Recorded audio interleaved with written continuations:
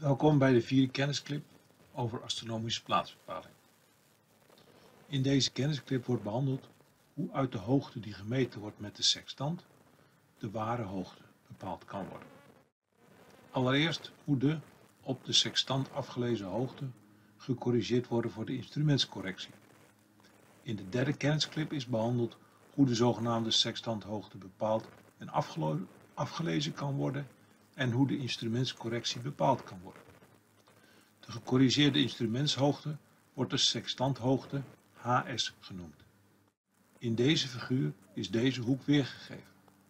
Het is de hoek tussen de lichtstralen afkomstig van het hemellichaam en de lichtstralen afkomstig van de kim.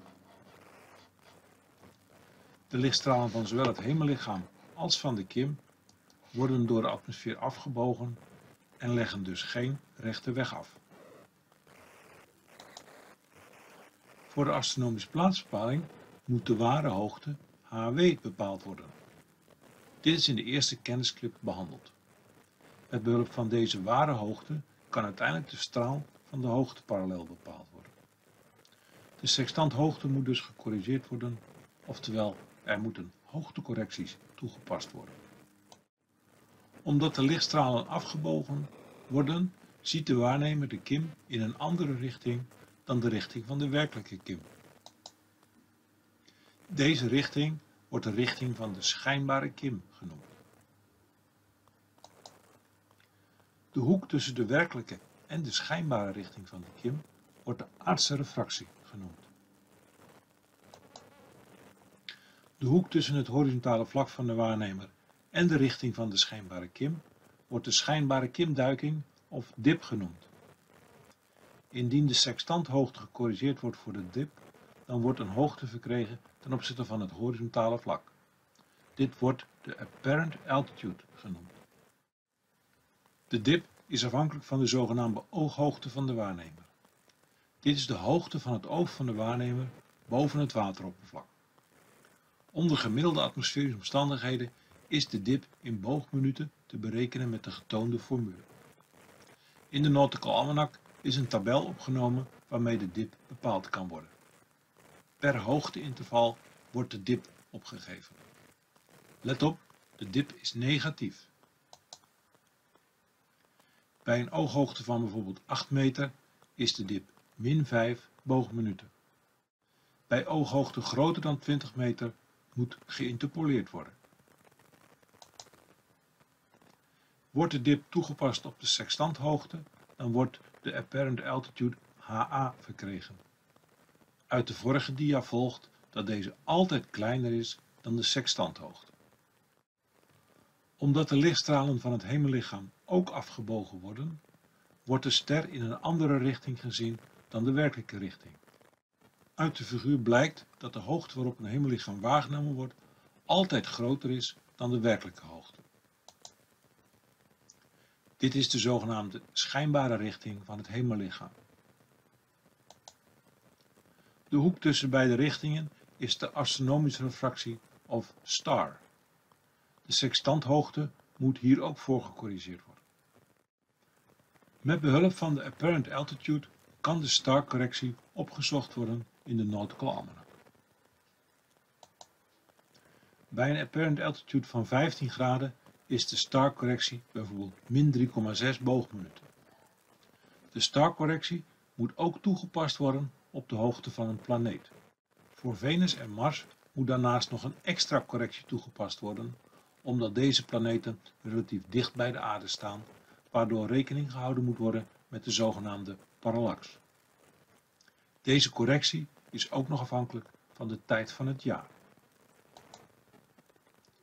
De ware hoogte van de sterren en planeten kunnen met behulp van deze formules bepaald worden. De gemeten hoogte van de zon moet, na het toepassen van de dip, gecorrigeerd worden met de zogenaamde sun correction. Deze correctie is afhankelijk van de apparent altitude, de tijd van het jaar en of de hoogte van de onderrand of van de bovenrand bepaald is. De sun correction corrigeert voor de astronomische refractie, de zogenaamde parallax en de halve diameter van de zon.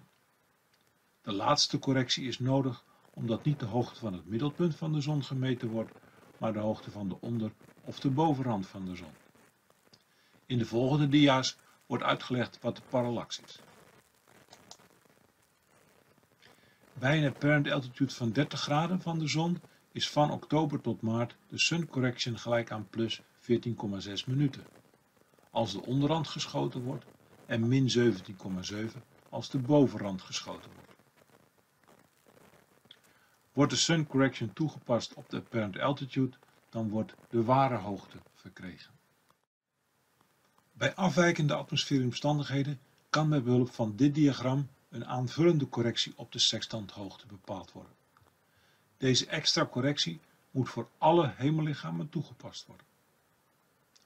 In het diagram is te zien dat de correctie klein is bij grote apparent altitudes. Indien dus niet al te lage hemellichamen gebruikt worden bij een ster of zonbestek, dan kan deze extra correctie verwaarloosd worden. In de eerste kennisclip is behandeld dat er vanuit gegaan wordt dat de hemellichamen oneindig ver weg staan. De richting van het hemellichaam bij de waarnemer is dan gelijk aan de richting van het hemellichaam in de aardse projectie.